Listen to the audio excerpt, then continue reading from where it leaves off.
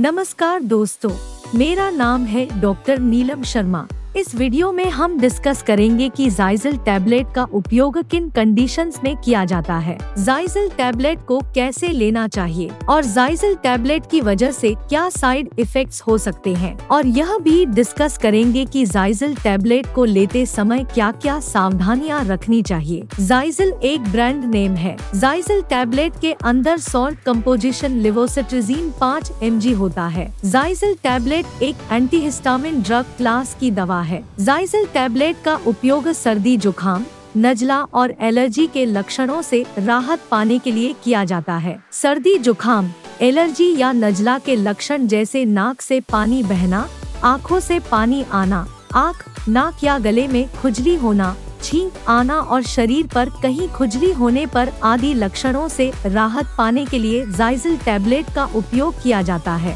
इसके अलावा डॉक्टर त्वचा पर रैशेस होने पर और त्वचा पर खुजली होने पर भी जाइजल टैबलेट को लेने की सलाह दे सकता है। डॉक्टर क्रोनिक अर्टिकेरिया होने पर यानी त्वचा पर पुरानी खुजली की समस्या होने पर भी जाइजल टैबलेट को लेने की सलाह दे सकता है। मधुमक्खी या किसी अन्य कम जहरीले जानवर के काटने की वजह वजह से हुई त्वचा पर रैशेस, सूजन और खुजली को ठीक करने के लिए भी डॉक्टर जाइजल टैबलेट को लेने की सलाह दे सकता है। साइड इफेक्ट्स की बात करें तो वैसे तो ज़्यादातर व्यक्तियों में जाइजल टैबलेट की वजह से कोई साइड इफेक्ट्स नहीं होते हैं। लेकिन कुछ परसेंट व्यक्तियों में जाइजल टैबलेट की वजह से कुछ सामान्य साइड इफेक्ट्स हो सकते हैं, जैसे मुँह में सूखापन होना सिरदर्द होना, शरीर में थकान व सुस्ती होना।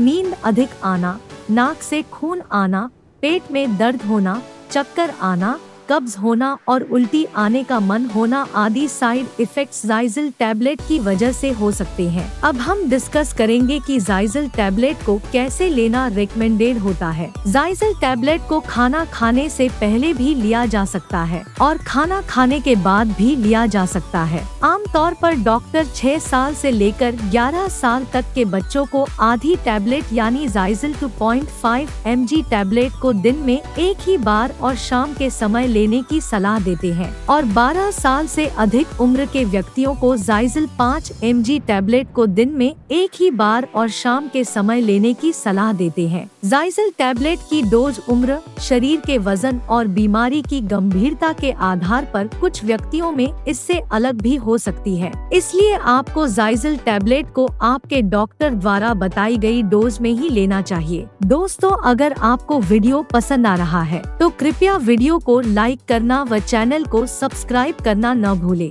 अब हम डिस्कस करेंगे कि जाइजल टैबलेट को लेते समय क्या क्या सावधानियाँ रखनी चाहिए। किडनी फेलियर होने पर या किडनी की कोई गंभीर बीमारी होने पर जाइजल टैबलेट की डोज घटानी पड़ सकती है। इसलिए किडनी की बीमारी से पीड़ित व्यक्तियों को जाइजल टैबलेट को डॉक्टर की सलाह के बिना नहीं लेना चाहिए। जाइजल टैबलेट को दिन में लेने की वजह से नींद अधिक आ सकती है। इसलिए जाइजल टैबलेट को शाम के समय लेना रिकमेंडेड होता है। जाइजल टैबलेट के साथ आपको शराब का सेवन नहीं करना चाहिए। वैसे ज़्यादातर व्यक्तियों में जाइजल टैबलेट को लेने के बाद ज़्यादा नींद नहीं आती है। लेकिन यदि किसी व्यक्ति को जाइजल टैबलेट को लेने के बाद नींद अधिक आती है तो ऐसे व्यक्तियों को ड्राइविंग नहीं करनी चाहिए और ऐसी मशीनों पर काम भी नहीं करना चाहिए, जिन पर काम करने के लिए अधिक मानसिक सतर्कता की आवश्यकता होती है। वैसे जाइजल टैबलेट प्रेग्नेंट महिलाओं और स्तनपान करा रही महिलाओं को कोई नुकसान नहीं पहुंचाती है। इसलिए ज़रूरत पड़ने पर डॉक्टर प्रेग्नेंट महिलाओं और स्तनपान करा रही महिलाओं को जाइजल टैबलेट को लेने की सलाह दे सकते हैं। वीडियो को देखने के लिए आपका धन्यवाद। अगर आपको वीडियो पसंद आया तो प्लीज़ वीडियो को लाइक कर देना, चैनल को सब्सक्राइब कर लेना और अगर आपका जाइजल टैबलेट से संबंधित कोई प्रश्न है